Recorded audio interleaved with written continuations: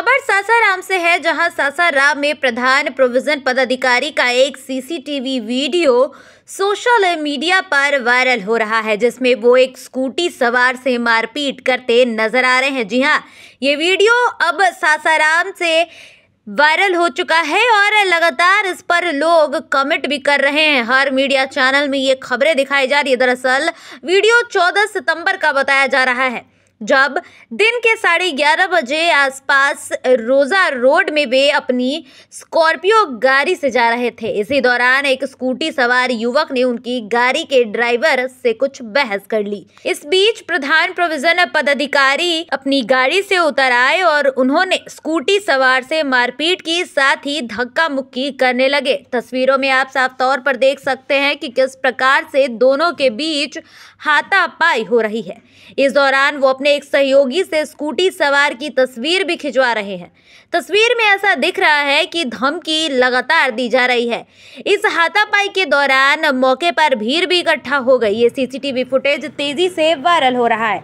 इस viral video को लेकर क्या कुछ कहना है पहले आप वो सुन लीजिए। तो क्या घटना हुआ था चौदह नौ दो हज़ार चौबीस शनिवार के दिन सर हम अपनी माँ का दवा लेकर आ रहे थे रोजा रोड से।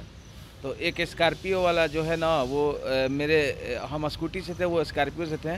स्कॉर्पियो वाला है तो मेरा मेरा अ, मिरर और उनका मिरर टच हुआ। तो स्कॉर्पियो वाला आगे जाके ओवरटेक करके गाड़ी रुकवाया और ड्राइवर बोला कि कैसे चला रहे हो? तो हम बोले सर कि गलती से लग गया है सर।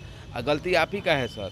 तो वो वो ड्राइवर गाली गलौज करने लगा मेरे साथ कि तुम तू हमको सिखाएगा रे कि का है का नहीं। और उसी गाड़ी में से पदाधिकारी एक थे आ, वो गाड़ी से उतर के हमें गाड़ी के उनका आगे बोर्ड पे पड़ा प्रोबेशन पदाधिकारी थे वो गाड़ी से उतर कर और मेरे साथ बदसलूकी करने लगे और हमें गाली गलौज गाली देने लगे। तो हम पूछे कि सर गाली क्यों दे रहे हैं? तो वो बोले गाली देते हुए बोले कि हम तुमको बर्बाद कर देंगे तुम हमको पहचान रहा है कि हम कौन हैं। हम बोले सर कि हम नहीं पहचान रहे सर आपके आप कौन है? लेकिन सर अ, हम आप गाली क्यों दे रहे हैं सर? आ, वो फिर कॉलर पकड़ के मेरे साथ बदसलूकी किए और साथ। धक्का मुक्की कॉलर पकड़ के सर मतलब हम और मेरा उंगली भी मोड़े वो। और अ, मेरे घुटना में सर चोट जब वो गेट खोले अपने इतना तेज़ी से गेट खोले कि मेरा घुटना भी फूट गया सर। और जब हम बोले उनसे कि सर बार बार हम दिखा रहे थे कि सर, मेरा देखिए घुटना फूट गया। तो वो बार बार गाली दे रहे थे और कह रहे थे कि भागे यहाँ से, भागे यहाँ से। तो हम तो सर जाने के लिए तैयार थे, हम उनसे, अब वो फिर बोले कि हमको बर्बाद कर देंगे। और सर, बर्बाद करने के तहत में वो बोले, उनका बात ऐसा ऐसा ऐसा बात बोल रहे थे कि मतलब तुम पे एफआईआर करा देंगे, वो करा देंगे। और सर, वो एफआईआर भी हम पे कर, करा दिए हैं, सर। और जबकि सर, गलती भी मेरा नहीं है। जब वहाँ के लोगों द्वारा वीडियो जो लोग थे वहाँ के अस्थाई लोग वो लोग सर को डांट के भगाएँ कि सर गलती क्यों गलती आप ही का है सर क्यों बच्चा पे आप अपना अथी हक जमा रहे हैं?